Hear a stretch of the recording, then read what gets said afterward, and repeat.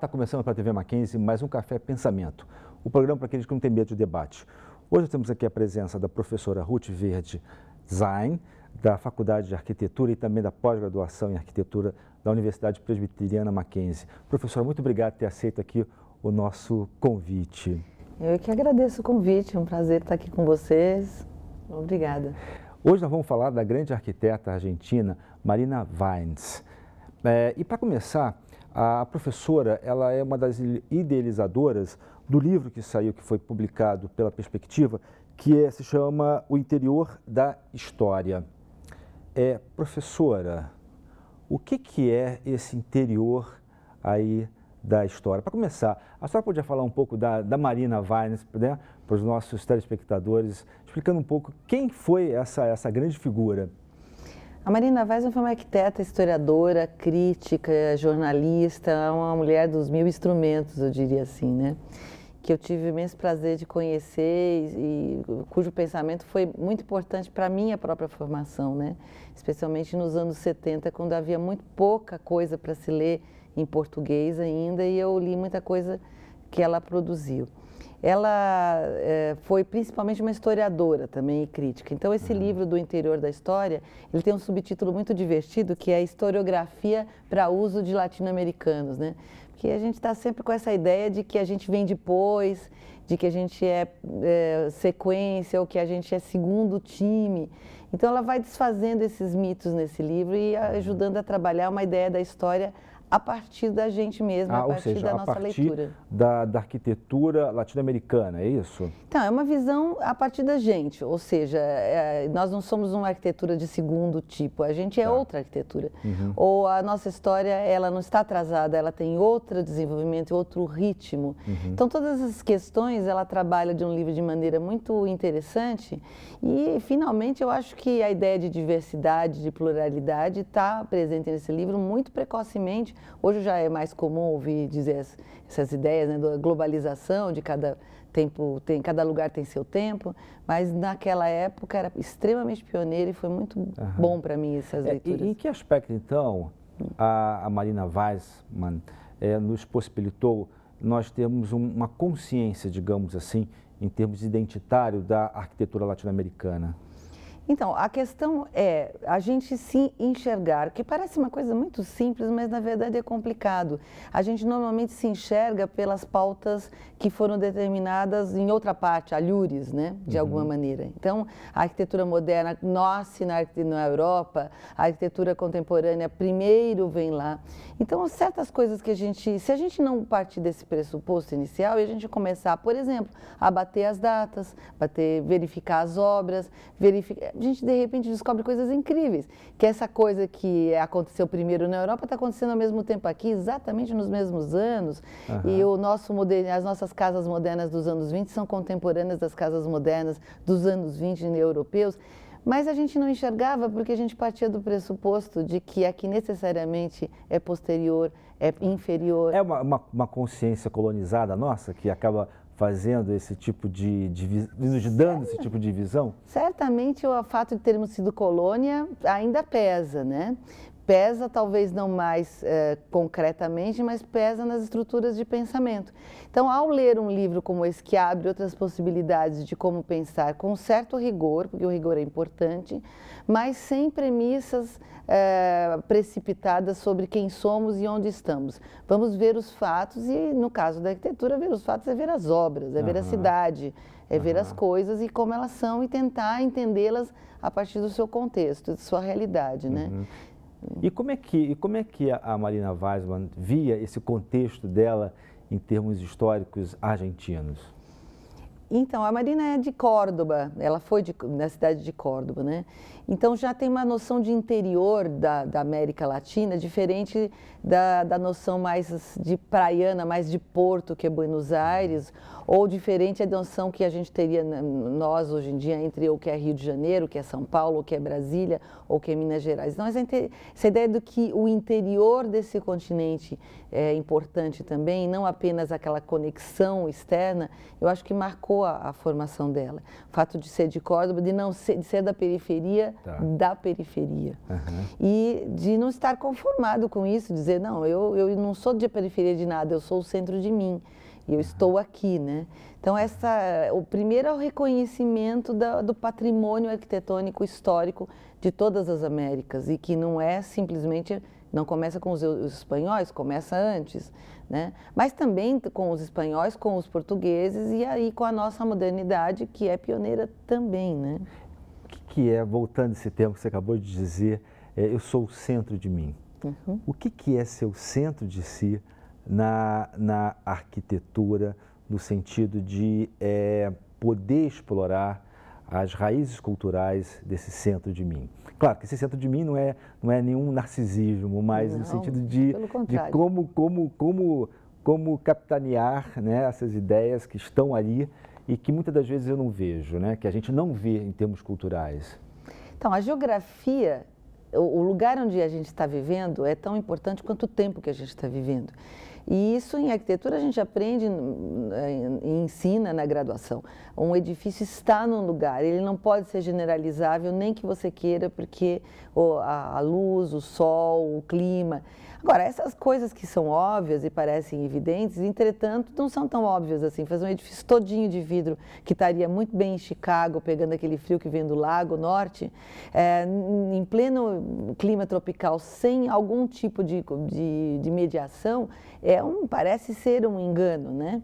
Mas isso, isso são os tempos. Os tempos é a arquitetura de hoje, ela se impõe, o contemporâneo, que é vendido como sendo uma, uma, ideia contemporânea, se sobrepõe sobre a questão do lugar. Então, primeiro, ah, tá. primeiro é uma questão de você ter consciência do lugar que você está, do uhum. clima, da geografia. E segundo, a consciência de que, eh, se bem que a gente tenha que viver o nosso tempo, a gente não pode vivê-lo de maneira acrítica, uhum. a filtrar, ou como diziam os antropófagos, né? digerir, né? digerir o que nos vem e produzir o que é nosso é importante. Não, identidade não significa estar isolado do mundo uhum. e se fechar em si mesmo. Essa é uma grande lição que eu aprendi com a Marina. A identidade é uma procura, uma busca, não é algo que está dado. Você tem que construí-la a cada dia e você vai construir no embate dessas forças contraditórias que são a vontade de ser contemporâneo, a vontade de, de, também ter uma tradição e trabalhar com ela, a vontade de integrar todas essas coisas numa resposta adequada para o momento. Né? É, embora fique difícil, né? Se a gente oh. falar, principalmente na arquitetura, né, a partir dos anos 50, quando a gente fala de uma pós-modernidade, digamos que isso é uma questão lá dos arquitetos, né? também. né? É um, é, também, né? Mas, de certo modo, foram eles que criaram um pouco dessa ideia da pós-modernidade. Agora, como é que é essa ideia de uma pós-modernidade, em que não tem mais um eixo propriamente dito, né? Uhum. Como se falar de tradição? E aí, como é que entra a Marina nesse, nesse aspecto? Quer dizer, a Marina, ela, ela continuaria sendo contemporânea nossa? Acho que o que é mais interessante na vida da Marina é que ela era ao mesmo tempo arquiteta, historiadora e jornalista. Ah, ok. É, ela trabalhou muitos anos numa revista de arquitetura e uma da, eu conheci Marina através da sua sessão que chamava Serviço de Novidades. Então, essa é ambiguidade da própria formação profissional dela, que era estar atenta às novidades do seu tempo e editar, trazer, fazer suplementos da revista.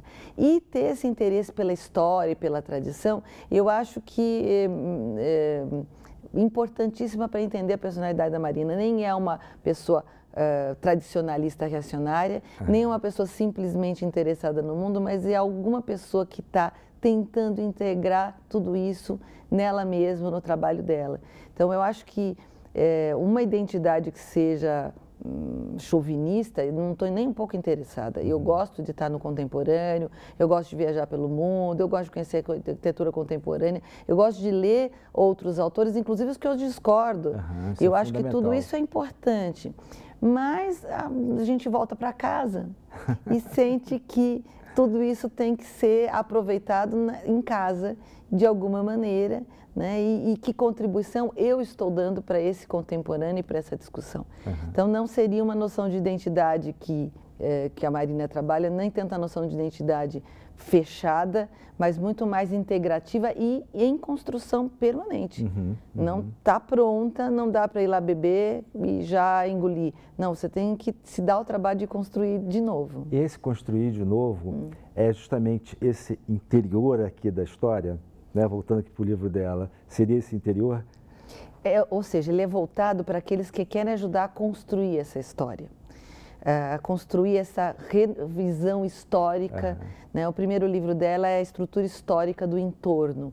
Então, é olhar para a cidade e ver o que ele é história, mas ao mesmo tempo, né, em determinado ponto do livro, ela diz assim: olha, qualquer obra de arquitetura, ela pertence a dois tempos: o tempo em que ela foi feita e o tempo de hoje que ela está lá. Uhum. Então, essa obra é do século XVI? Não, ela é do século XXI. Então, essa sensação de que ao mesmo tempo ela pertence ao passado e ao presente e vai pertencer ao futuro, é, é, impede que eu a veja simplesmente como uma tradição passada. Ela é presente. Uhum.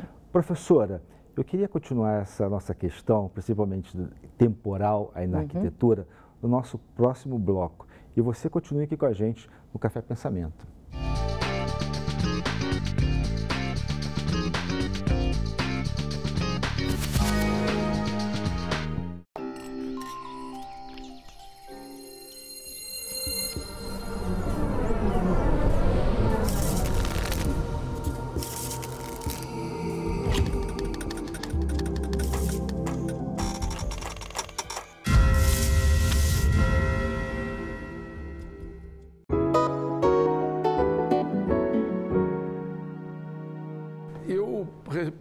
Com, com muita facilidade a leitura, mas uma leitura que realmente me impactou, que foi a Bíblia. Bem, a Bíblia tem muitos livros, né? É, mas assim, o que. E todos são encantadores. Por exemplo, você vê Sansão e Dalila, ou Davi e Golias, né? ou então é, o Jonas que foi engolido pela baleia.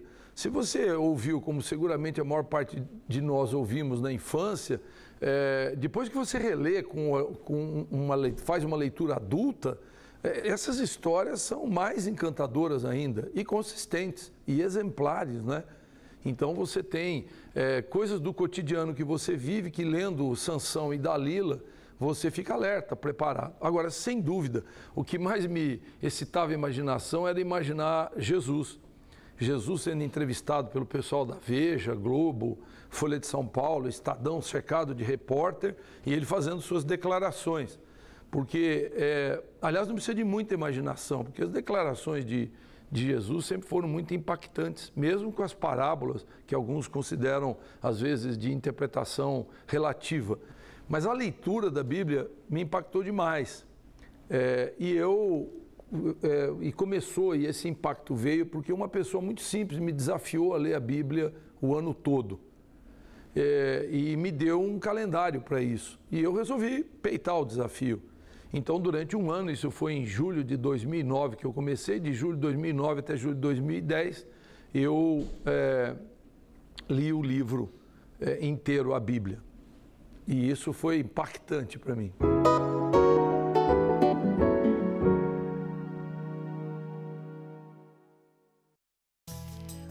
TV Digital com interatividade está no ar. Agora, os programas das emissoras de TV aberta podem oferecer opções interativas. Eu posso ver detalhes da minha atração favorita, responder enquetes e perguntas, saber sobre produtos e serviços e acessar informações de utilidade pública. E tudo isso está ao seu alcance sem precisar pagar assinatura. É só usar o controle remoto. O selo DTVI nos aparelhos garante que o produto é interativo. Sinal da TV digital com interatividade. É para você, é bom de ver.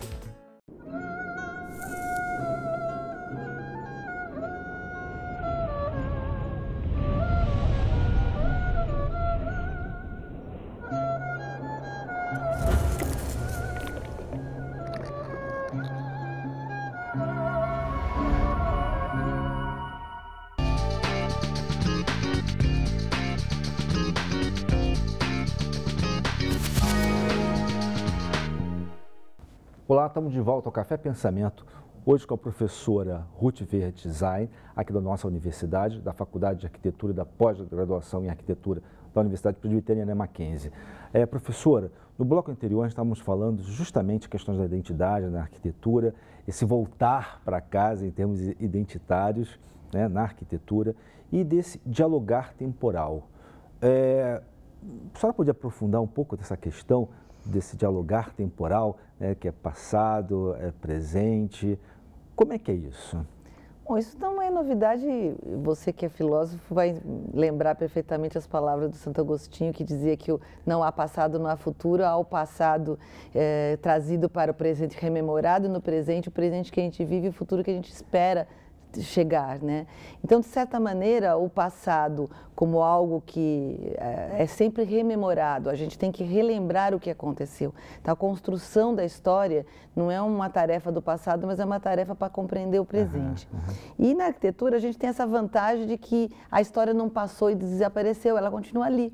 Então, você vai visitar uma catedral do século XII, ela é do século XXI também, porque ela ah, continua claro, de pé, né? Claro. E isso, ah, no texto do livro da Marina, ela, ela faz, eu poderia citar uma frase que eu Por gosto favor. muito, que ela diz o seguinte, as obras significativas da história da arquitetura mostram essa dupla leitura, uma vez que cumprem com a condição especial, que é também da obra de arte, de ser o objeto historicamente datado e, simultaneamente, presente no tempo do observador.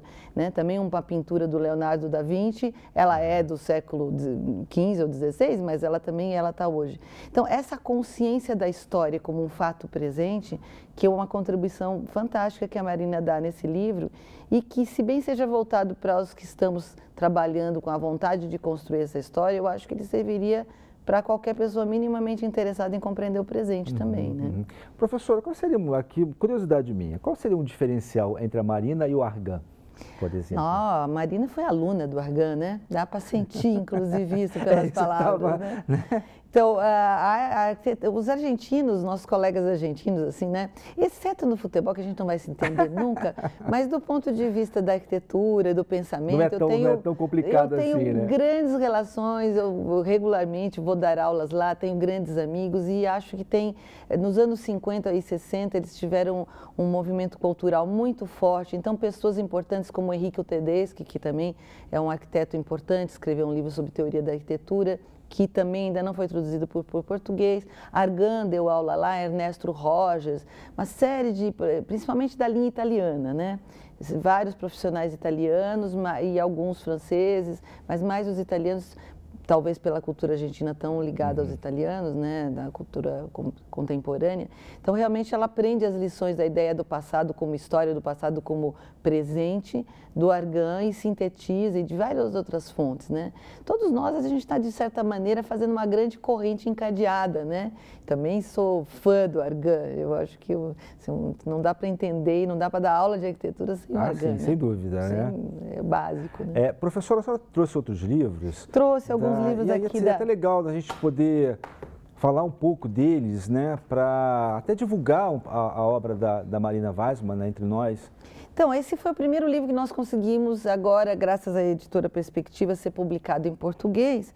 É, mas em alguns livros que eu espero que, quem sabe, com o tempo a gente consiga publicar também. Um clássico da Marina é este aqui, a estrutura histórica do entorno, que o nome já diz, né? Ou seja, o entorno é a cidade, né? Uhum. A cidade, como realmente aprendendo também das lições do Argan, como você bem lembrou, uhum a cidade, ela tem camadas e camadas de histórias superpostas uhum. e convivendo, e a gente está todo dia adicionando novas camadas. É um livro bastante erudito, muito interessante.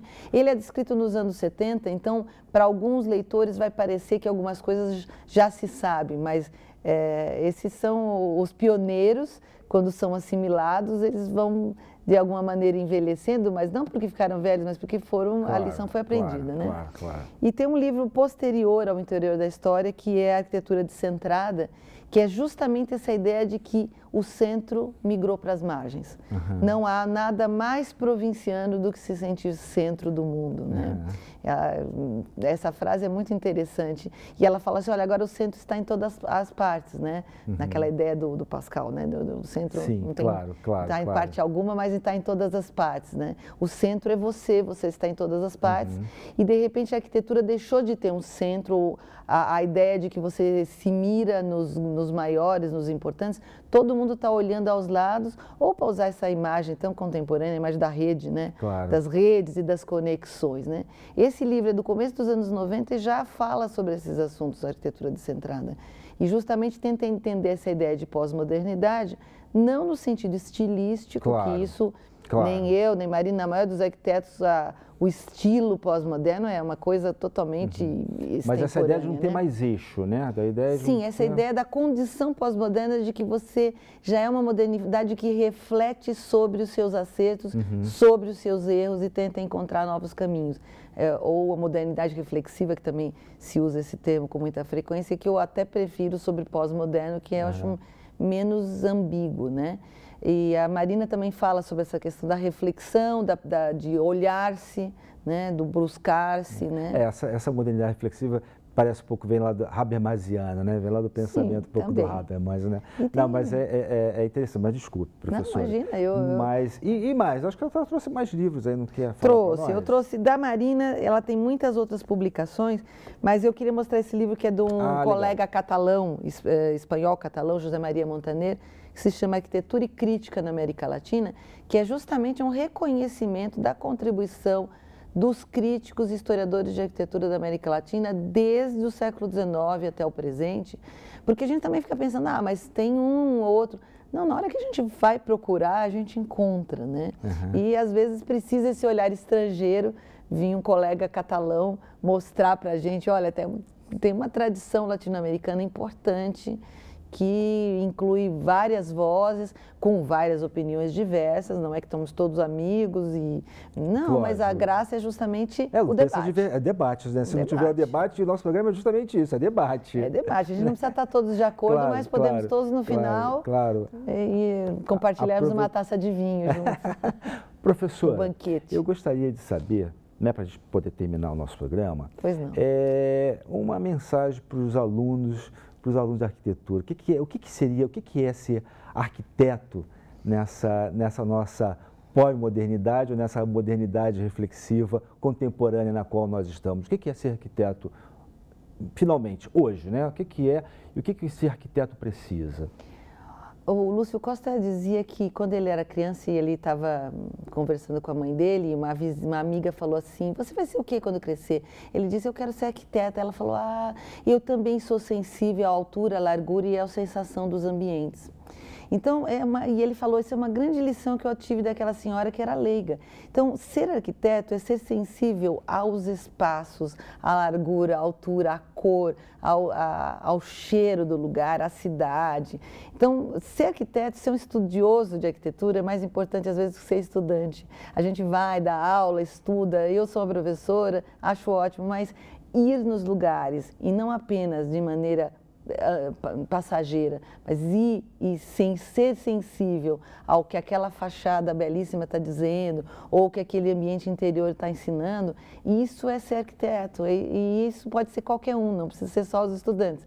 Mas o estudante tem obrigação de aprender com que os edifícios e a cidade hum, podem nos ensinar. Eu acho que essa é a principal lição, porque todo demais eh, vai calar, mas se você não souber conhecer os lugares e de maneira crítica, aquilo é apenas eh, você está vivendo na nuvem sem enxergar o caminho, né?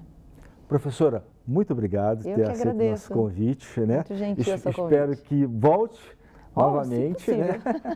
tá bom? E eu gostaria de agradecer a você que tem nos acompanhado e até o próximo Café Pensamento.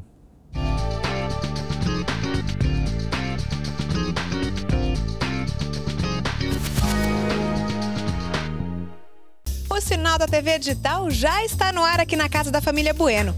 E eles não precisaram pagar assinatura para ver. Hum, eles têm aquelas TVs que já vêm com conversor digital no próprio aparelho. Foi difícil pegar o sinal da TV digital? Nada, só instalei uma antena UHF, conectei e pronto. E a qualidade de imagem e som? É alta definição. Parece cinema. É um cinemão! Sinal da TV digital. É pra você.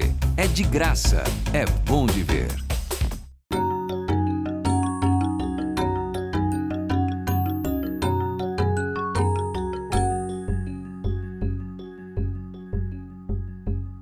Casamento é sempre um momento muito importante em nossas vidas.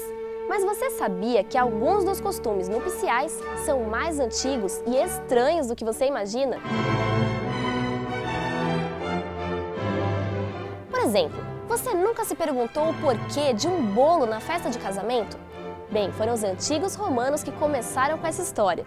Mas se você pensa que o bolo de casamento dos romanos era igual ao de hoje, está enganado. Os romanos tinham o costume de quebrar o bolo na cabeça da noiva para trazer fertilidade e abundância. Quando não se tinha bolo, o jeito era jogar trigo ou farinha na cabeça da coitada e comer os restos para trazer sorte. Azar mesmo, o da noiva, né?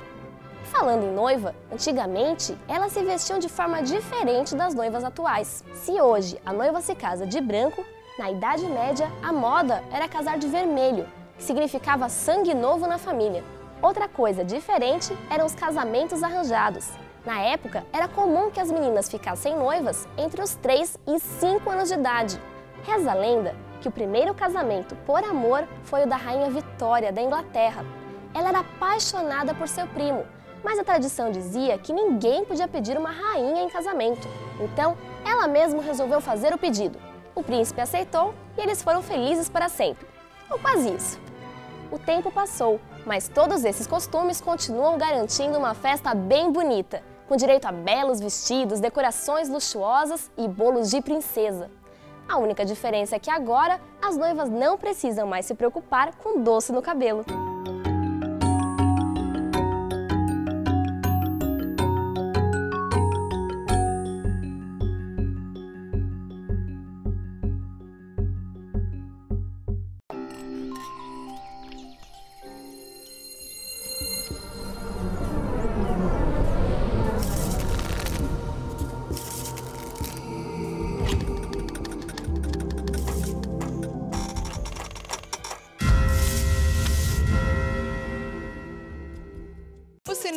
Digital já está no ar aqui na casa da família Souza. E o melhor é que eles não precisam pagar assinatura para ver. Só que ainda não viram. Como tá a imagem da TV? Ih, cheia de chuvisco. Fantasma. Vocês topam fazer um teste para ver a imagem digital? Claro, vamos lá. É muito simples. É só instalar uma antena de HF, conversor digital e vejam só a qualidade de imagem e som. Uau! Foi tão fácil pegar. Sinal da TV digital. É pra você. É de graça. É bom de ver.